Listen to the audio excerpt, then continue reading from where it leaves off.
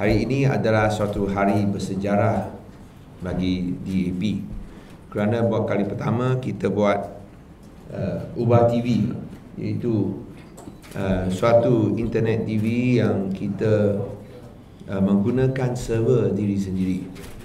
Uh, saya rasa ini adalah uh, suatu usaha untuk menggunakan kebebasan yang ada dalam internet yang tidak ada dalam sistem kebebasan atau sistem akhbar Malaysia supaya kita dapat pecah monopoli uh, akhbar oleh Barisan Nasional di mana semua media masa utama dikuasai oleh Barisan Nasional uh, khususnya TV TV dia nak bagi us 10 minit. Ingat 10 minit sudah cukup untuk bukti ada kebebasan akhbar tapi selama 5 tahun dia kuasa habis. 5 tahun bagi 10 minit. Saya rasa itu yang kita terpaksa bergantung kepada diri sendiri. Kerana kita tak mau hanya ada 10 minit punya kebebasan. Dan ni 10 minit pun bukan secara secara langsung tapi pre-recorded. Dan uh, kita rasa kebebasan akhbar haruslah menjadi budaya kita. Kebebasan maklumat haruslah jadi budaya kita. Dan kebebasan untuk di beritahu atau uh, untuk mendapat berita benar itu harus menjadi budaya kita semua. Dan keputusan uh, Dato' Rais Yatim Menteri Penerangan uh, atau Komunikasi yang hanya nak berikan 10 minit saya rasa menghina demokrasi menghina proses raya dan menghina kebebasan maklumat dan akhbar dan oleh itu ditolak habis oleh DAP dan Pakatan Rakyat.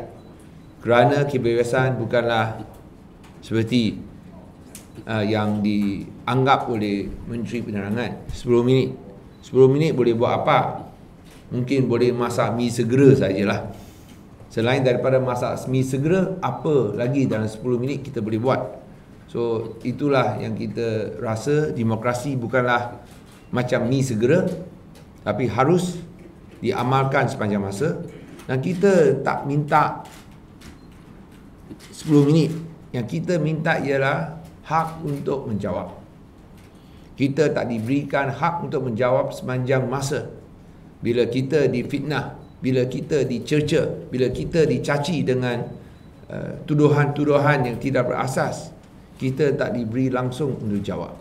Semua pun itu fitnah adalah palsu sama sekali So di sini saya rasa uh, DAP terpaksa bergantung kepada Ubah TV ini supaya kita boleh mulakan satu usaha untuk pecah monopoli fitnah Barisan Nasional. We must break the monopoly of lies and distortion by BN supaya sekurang-kurangnya ada perspektif yang lain, ada ruang untuk memberikan pandangan kita, perspektif kita dan yang penting sekali supaya kebenaran dapatlah ditegakkan. Saya nak komen tentang itu kenyataan yang dibuat oleh Menteri di Jabatan Perdana Menteri tentang Tanda Putra. Itu film yang uh, tidak dibenarkan ditayangkan secara umum tetapi dibenarkan ditayangkan secara uh, tertutup lah atau private screening. Actually, Tanda Putra is a racist film it's a racist film because it it, it, it wants to incite uh, racial hatred based on false facts and manufactured events. Now, I'm disappointed that Koh even though he's a minister, he says there's nothing wrong if uh, you have a private screening, even though it cannot, even though public screenings are banned. But private screenings are okay. Private screenings in the sense that it's only open to invited guests.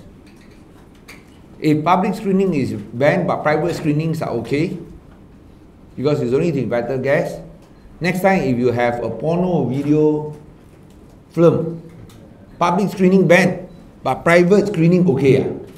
What type of logic is Go Sukun talking about? I know that this is your final days as minister, but please end it by talking talk by talking sense and logic.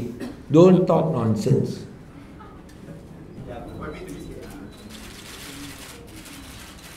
One, two, three.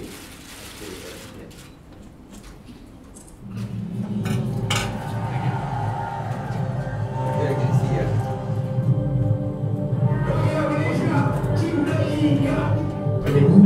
I